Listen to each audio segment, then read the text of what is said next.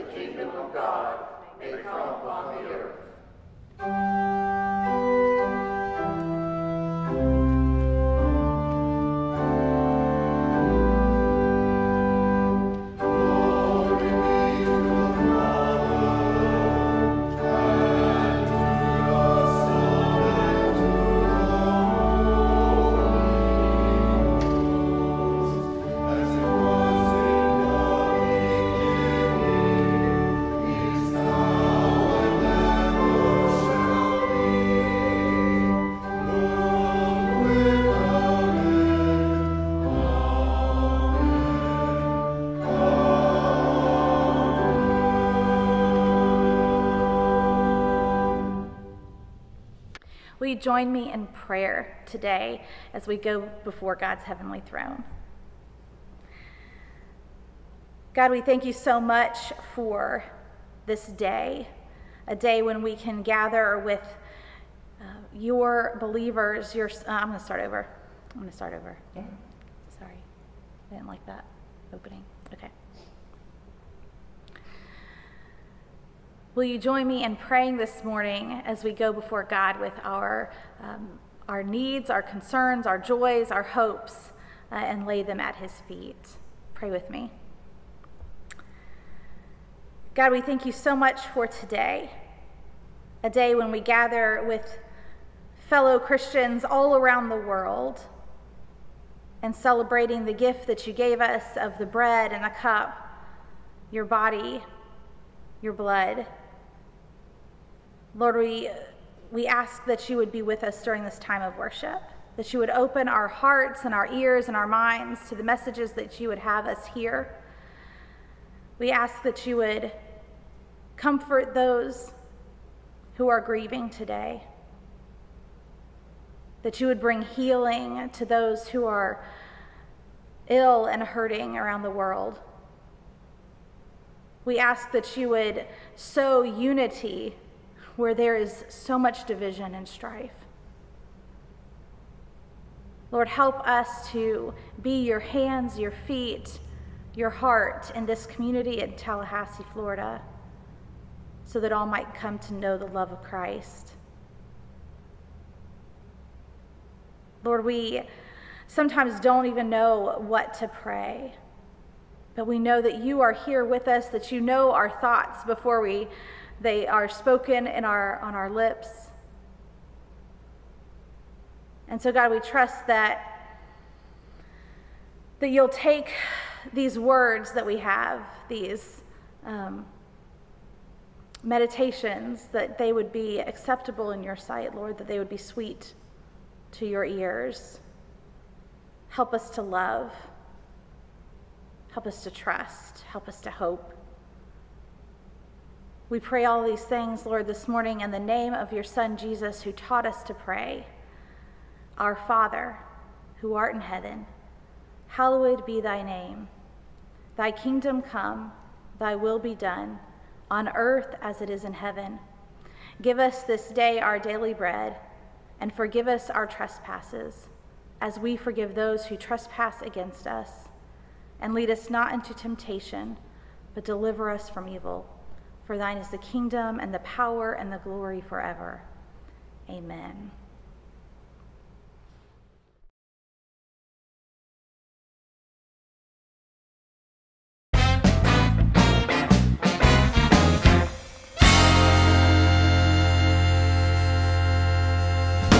Hi, kids. We are up up close to the altar table today because today is World Communion Sunday. So, on this Sunday, which is once a year, it's the first Sunday in October, all the churches around the world celebrate communion on this Sunday. Uh, you know, sometimes churches celebrate once a month, some churches celebrate all the time, some celebrate less frequently. Uh, but World Communion Sunday, we make a focus that we're all celebrating communion at the same time. So I brought uh, my, this is the plate and the cup that I've been using at home, just like you all have been. Uh, I brought it here with you. And in my house, we have been using um, tortillas because we like to eat lots of tacos. Uh, so these are always, we always have these in the house. So we've been using them for our communion. And one of the things that we're talking about today is how in the church, we're all together, we're all one group. So sometimes we talk about church and we're just talking about St. Paul's, but other times when we talk about the church, we're talking about all the Christians in the world, all of us together. We're still we're considered one church.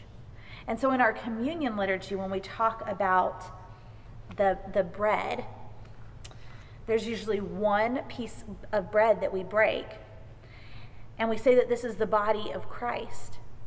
But we also call the church the body of Christ. So it's kind of uh, it's it's both things. It's symbolic, right? But that way, when we when we say that this is Christ's body, we also remember that this is like all of us. We're all together and when we break the bread, when we talk about the, the bread being broken, and we talk about Jesus being broken, and we remember the sacrifice that Jesus made for the world, we also, as the church, we're supposed to give of ourselves as a, as a living sacrifice, right? We're, we're, not, we're not dying, we're alive, but we still sacrifice by sharing what we have by doing good at the community, by making sure that our priorities, the things that are most important to the church, are the things that are most important to God, and that we care for all the people in, in the world. So, wherever you are today, if whatever bread you have in your house, or, or uh, maybe you have crackers or um, a, a piece of sandwich bread, whatever is in your house, that's what we're going to use today. But as you, as you tear the pieces off, remember that we also are supposed to um, give ourselves, give ourselves and give, give our uh, treasures to the people around us. We're supposed to share and care about the world around us and all the people in it.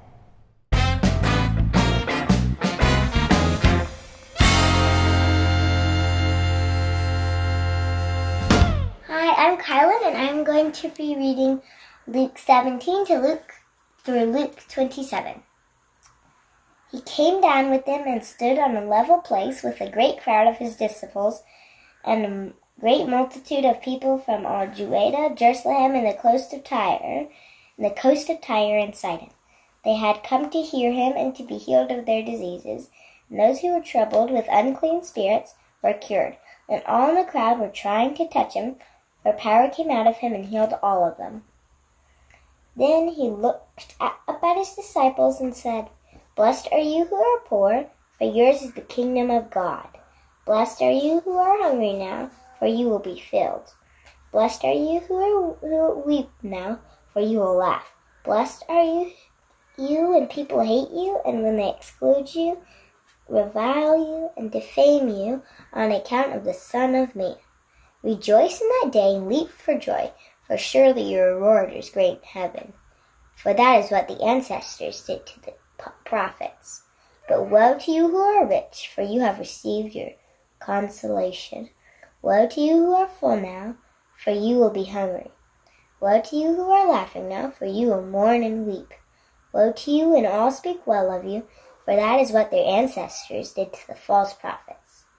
But I say to you, that listen, love your enemies, and do good to those who hate you.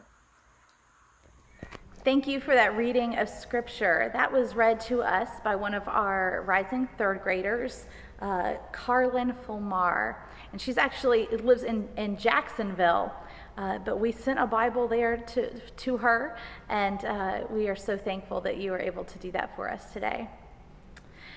So, in this sermon series, Feast to Feast, we've been going through our communion liturgy prayer line by line. The, the prayer that begins, uh, By your Spirit, make us one with Christ, one with each other, and one in ministry to all the earth. And that's the part that we're going to be focusing on today the, the one in ministry to all the world. That's a lot of oneness, right? One with Christ, one with each other, one in ministry. And in a world that today feels very broken and divisive and uh, full of disunity, even amongst Christian groups, right? That's, um, that's a really difficult thing to pray, to ask for, and to believe that God will give us one with Christ, one with each other, and one in ministry to all the world.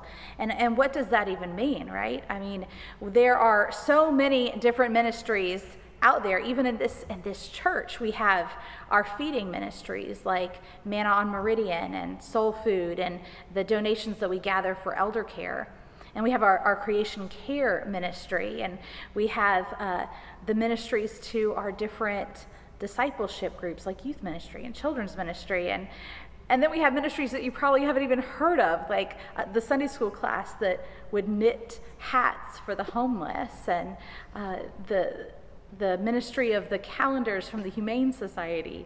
Um, there's so many different ministries here at this church. How can we say, make us one in ministry.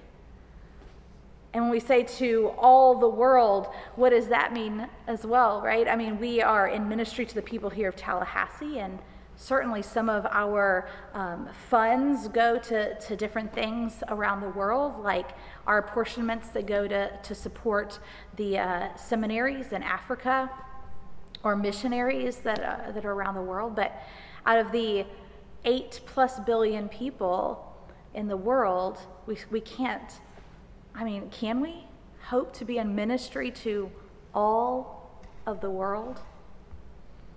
Um, our scripture today is from Luke's gospel.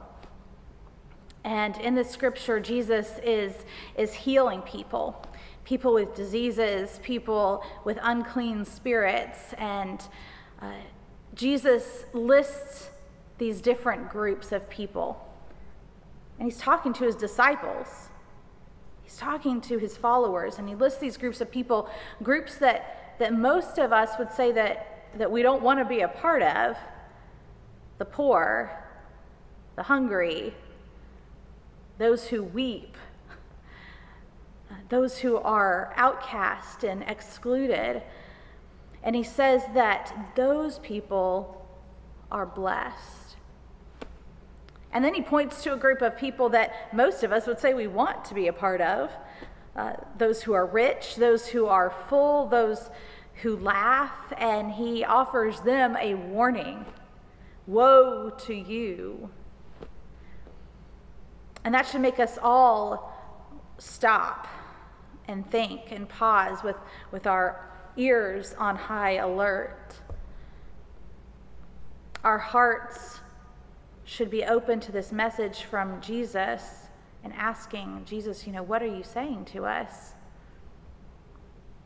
When Jesus began his ministry, when, one of the first things that he did, he was in his hometown and he, he opened up the scroll from Isaiah and he read that the Spirit of the Lord God is upon me because the Lord has anointed me. He has sent me to bring good news to the oppressed to bind up the brokenhearted, to proclaim liberty to the captives and release to the prisoners, to proclaim the year of the Lord's favor and the day of vengeance of our God, to comfort all who mourn, to provide for them, those who mourn in Zion, to give them a garland instead of ashes, the oil of gladness instead of mourning, the mantle of praise instead of a faint spirit.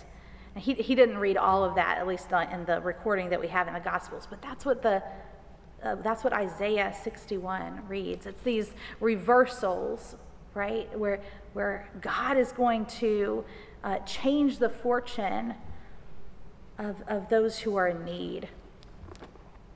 So, from the very beginning of his ministry, Jesus has made it clear what he's about. And here in this passage, it says that he, he came down onto a level plane with those that he was ministering to, to, those who were in desperate need of healing. And it says that he healed them all. That's his focus, that's his purpose to bind up the brokenhearted, to proclaim release to the captives, to say, Blessed are the hungry, for they shall be filled. And the blessing that Jesus gives for those who are, who are poor doesn't idolize or glorify poverty, but rather it declares God's intention to provide, to heal, to make his dwelling and his kingdom among the poor.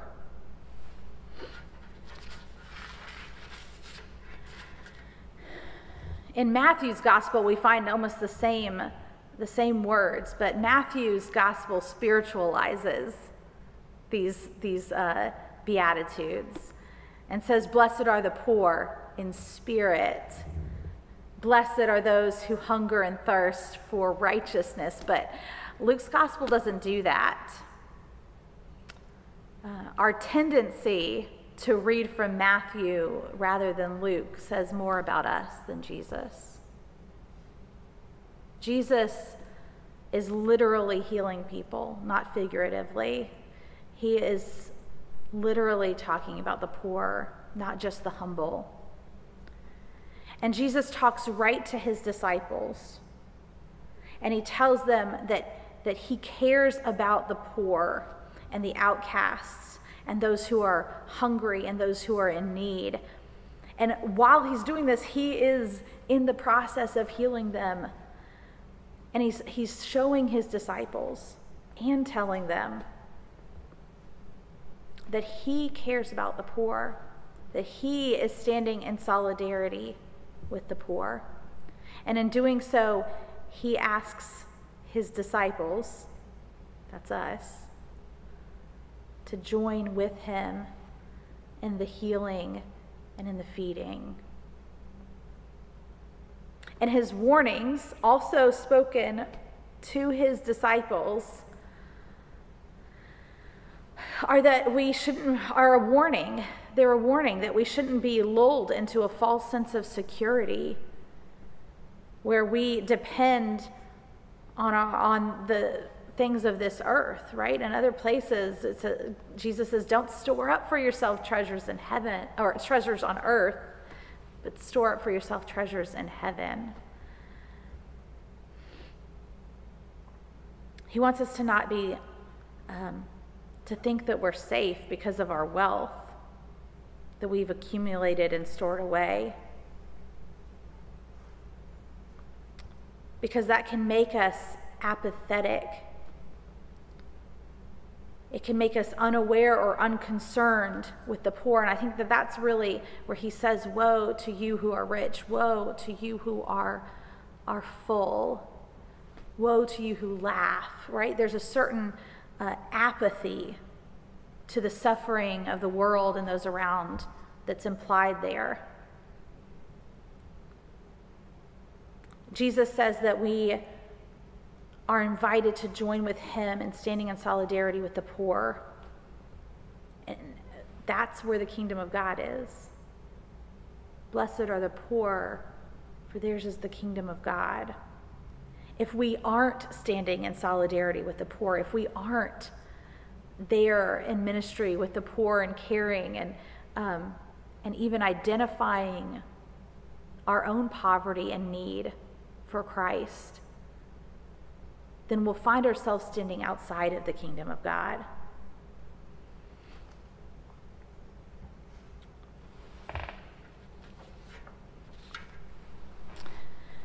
Being one in ministry with Jesus, one with, one with Christ, one with each other, and one in ministry to all the world, is more than writing a check so that we can feel less guilty. Uh, it is about allowing God to realign our priorities and the way that we see the world. It's about recognizing that there is no us versus them. It means that all means all. It's being willing to be prophetic and hated for it, willing to be identified with the outcast. Y'all, I am I'm nervous about preaching this, honestly. Um, I wish that I could say that it's super easy to be prophetic, but it is not. I know that some of you are weary of us preaching on racial justice, on talking about the inclusion of LGBTQ people, on talking about political issues such as, as immigration and treating people with respect and dignity. Let me tell you, the Bible says that we're supposed to treat immigrants as if they are angels among us. Jesus said, However, you treat the least of these is how we treat him. And it feels so risky sharing those things in this current political climate, knowing that elections are just around the corner, knowing the divisions that exists, knowing that we don't all see eye to eye on, on how we're supposed to be um, taking care of one another and, and of this country, but, but it feels even more risky if I, as one of your pastors, don't share that the gospel is good news to the poor and the hungry and the outcast. And to challenge you that if you're identifying and your solidarity is more with that second group, that woe to the rich, are you willing to, to realign your priorities to God's priorities, to stand in solidarity with the poor and the hungry and the oppressed and the prisoner? Will we be one in ministry? Not our ministry, but one in Christ's ministry to all the world. In the name of the Father, the Son, and the Holy Spirit. I wanted to share with you really quick. Uh, we had a, a, a, church member that uh, recently moved back to Ohio, but, but, but before they left, uh, she shared with us a, a, personal testimony, and she asked that we would share it with the congregation at some point. Uh, and I have the, her full testimony that's going to be available on our Facebook page, but here's a little bit of it. Uh, I just wanted to share with, with you these words from her about what it's meant to minister to all. Good morning. My name is Kathy Cole. My husband Matt and children Maddie and Katie moved to Tallahassee in October 2018 and have attended St. Paul's since March of 2019. Maddie was confirmed here at St. Paul's in May. As part of his confirmation, he reminded us all of what it means to be a Methodist, to faithfully support the church with our prayers, presence, gifts, service, and witness. Everything I know about being a Methodist comes from the 18 years I attended King Avenue UMC in Columbus, Ohio, where Matt, a lifelong Methodist, brought me shortly before we were married. We were married at King Avenue, and our kids were baptized there. King Avenue is an old stone church near the Ohio State University campus with a large bell tower. On that bell tower hangs a 30 foot banner that reads, All are welcome. Experience inclusiveness as God intends. You see, King Avenue, the church where I learned about Methodism, has been a reconciling congregation for over 20 years. We know the discussions have slowed, but we encourage you to keep going. It will be hard, it will be painful, but there is so much to be gained. How do I know? Because I come from the other side. I know what a joy it is to be a part of a reconciling Methodist church that truly welcomes all people.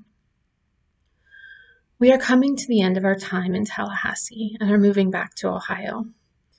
Business will bring us back for a few weeks next summer, and we will be sure to visit. While we are away, know that while you do not have our presence, you will have our prayers.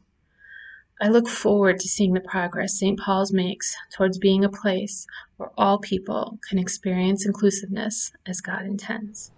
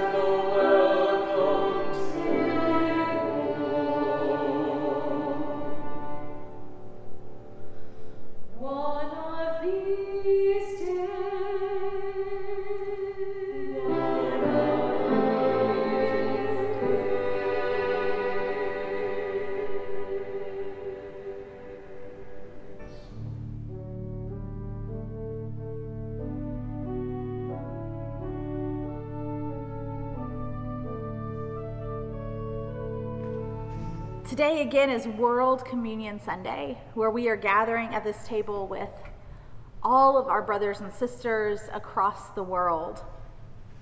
And so we, we remember that Christ our Lord invites to his table all who love him, who earnestly repent of their sin and seek to live in peace with one another. Therefore, let us confess our sin before God and one another. Merciful God, we confess that we have not loved you with our whole heart. We have failed to be an obedient church. We have not done your will. We have broken your law. We have rebelled against your love. We have not loved our neighbors, and we have not heard the cry of the needy. Forgive us, we pray. Free us for joyful obedience. Through Jesus Christ our Lord. Amen. Hear the good news. Christ died for us while we were yet sinners, and that proves God's love toward us. In the name of Jesus Christ, you are forgiven. Glory to God. Amen. The Lord be with you, and also with you. Lift up your hearts. We lift them up to the Lord. Let us give thanks to the Lord our God. It is right to give our thanks and praise. It is right and good and a joyful thing always and everywhere to give thanks to you, Father Almighty, creator of heaven and earth. And with your people on earth and everywhere, we join in praise and in the unending hymn Holy, holy, holy Lord, God of power and might. Heaven and earth are full of your glory.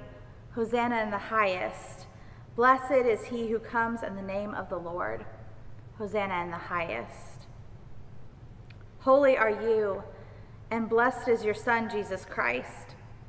By the baptism of his suffering, death, and resurrection, you gave birth to your church and delivered us from slavery to sin and death, freed us from slavery to apathy and self interest. And you made with us a new covenant by water and the Spirit. And on the night in which Christ gave himself up for us, he took bread and he broke it. He gave thanks and said, Take, this is my body broken for you. Do this as often as you can in remembrance of me. And then when the supper was over, he took the cup and he gave thanks. He said, This is my blood poured out for you and for many for the forgiveness of sins. Do this as often as you can in remembrance of me. And so, in remembrance of these acts, in remembrance of all the ways that God has moved in the world and the ways that God brings healing, we offer ourselves to you, God, as a holy and living sacrifice in union with Christ's offering for us as we proclaim the mystery of faith. Christ has died. Christ is risen. Christ will come again. Pour out your Holy Spirit on us gathered here and on these gifts of bread and cup.